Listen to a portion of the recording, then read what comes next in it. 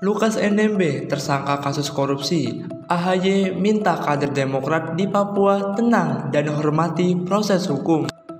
Ketua Umum DPP Partai Demokrat Agus Harimurti Yudhoyono atau AHY minta kader Demokrat di Papua agar tetap tenang setelah gubernurnya Lukas NMB jadi tersangka kasus korupsi di KPK.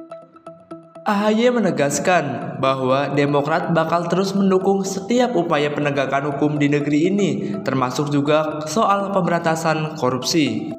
Kepada seluruh kader Partai Demokrat di Provinsi Papua, saya minta tetap tenang dan mari kita hormati proses hukum yang sedang berjalan. Sama-sama kita jaga situasi kondusif di tanah Papua yang kita cintai ujar AHY dalam konferensi pers di kantor DPP Partai Demokrat di Jakarta Pusat pada Kamis 29 September tahun 2022. Terkait kasus Lukas, AHY mewanti-wanti agar dalam proses hukum terhadap kadernya jangan ada politisasi di dalamnya. Meski demikian, AHY menghormati dan mendukung proses hukum yang sedang berjalan terhadap Lukas.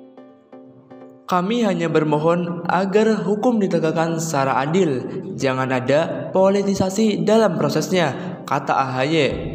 Putra sulung Susilo Bambang Yudhoyono atau SBY itu kemudian mengingatkan juga agar jangan ada peradilan sepihak dalam proses hukum terhadap Lukas. KPK sebelumnya menyatakan belum mendapatkan informasi yang sahih soal kondisi kesehatan Gubernur Lukas NMB setelah beberapa kali mangkir pemanggilan dengan alasan sakit.